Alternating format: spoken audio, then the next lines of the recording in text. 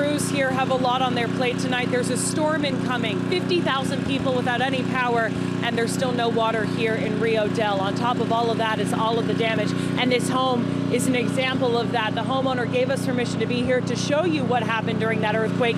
This massive chunk of his home fell into the front yard, but look at where it used to be. He said this instantly came down as soon as the shaking began. I woke up and then I felt a really bad shaking, and then I was scared. Nine year old Blake Bruga scared after a 6.4 magnitude earthquake hit Humboldt County this morning. First responders say his hometown, Rio Dell, was the hardest hit. The trailer next to his sustained so much damage, rescue crews have marked it unsafe. His home was spared in comparison. I mean, there's about two and a half inches there. That, that trailer moved two and a half inches to the south and then came back. That's a minimum. I would imagine that it went more and then came back to that. Brian Richter came over and under to help. See the shims laying in front of it? Those came out. Earthquake safe, it's really not. Rushing to finish the repairs before another shake. Have you felt any of the aftershocks? Yes, How many do you think? two. Aftershocks like this. City manager of Rio Dell.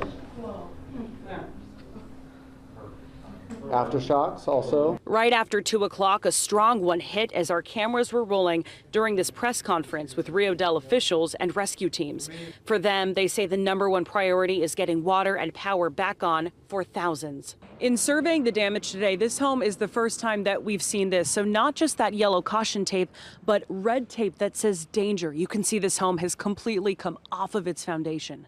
Down the street, Once I looked out the window, I didn't hear nothing because it was so loud in the house because of dishes and everything breaking and all that. So I didn't realize this until I looked out the window. and he saw this the front part of his home that used to be mounted over his front door, now in his front yard.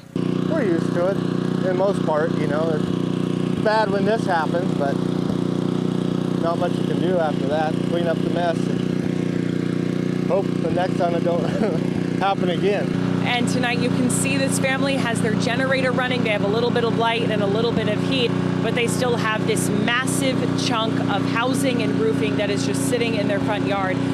Tonight, law enforcement also say they're really concerned about looky-loos and people who maybe want to take advantage of this situation. So we have seen increased law enforcement presence, making sure that no one is trying to get into any of these homes.